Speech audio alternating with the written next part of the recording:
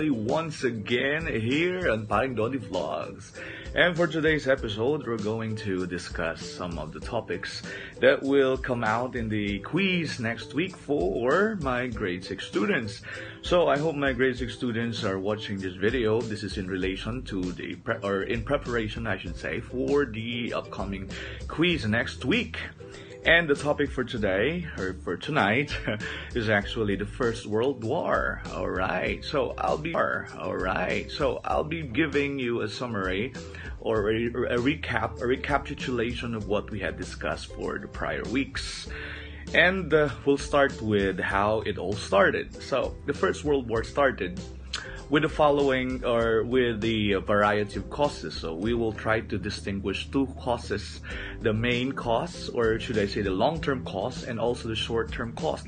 Let's start with the long-term cause. So I'll abbreviate with an A, with an I, and with an N. So that's militarism, alliances, imperialism, and nationalism. So you have to remember that before the war broke out, so it's a long-term cause, there was already this particular conflict or this particular uh, spark or issues that needs to be settled in order to avoid a war. Eventually, it did not happen. But anyway, let's talk about the happen. But anyway, let's talk about the main. Militarism refers to when the when the government gives or when a particular military is has been given a power by the government. Okay, to to definitely to upgrade, to develop, and to make sure that they improve their um, uh, capability with the military forces. All right, and and that's just a, a, a very brief um, um, identification of militarism. So in which um, in which the military or when the army is given a high profile by the government. Okay, so when an army. So you have to remember that that is the concept of militarism. Now let's proceed to main or to letter A, and that's alliances. So we have. Um, uh, discuss about alliances. It's like friendship. It's like um, understanding, or should I say, agreement between nations. Okay. Now, for the alliances in in uh, in relation in uh, in relation to the First World War, there was actually a an alliance that was created for the purpose of balancing the power. So they created an agreement. We call, uh, they actually call this um, uh, alliances. Number one, the Triple Alliance. The second one, the Triple Entente. Now let's talk about the Triple Alliance. The Triple Alliance composed of the following nations. We have Germany, Austria-Hungary, and also it, Austria-Hungary, and also Italy. And the Triple Entente, Entente, I should say, that's the correct pronunciation of France word, French word.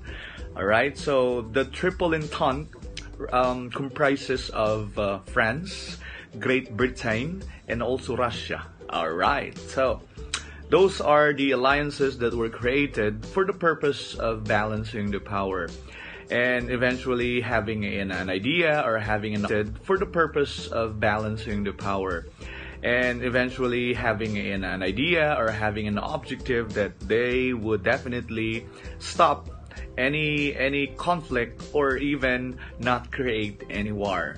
Eventually Unfortunately, I should say, it did not went well. All right, so let's.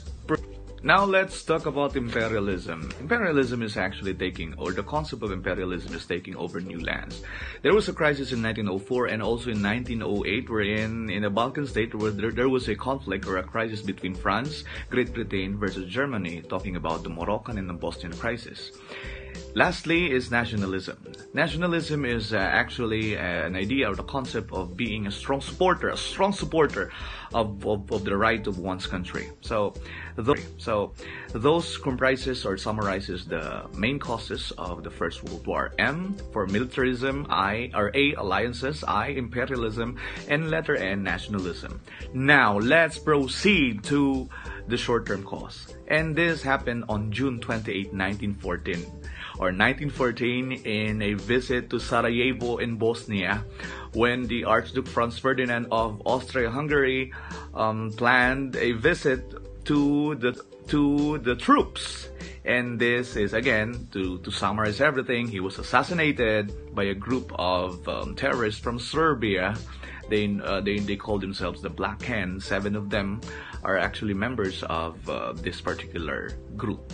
And because of that, um, war was inevitable, inevitable, and it was really about to happen when Austria-Hungary declared war on Serbia when the uh, past eventually because of alliances Germany France Russia Great Britain and most of the rival alliances eventually unfortunately declared war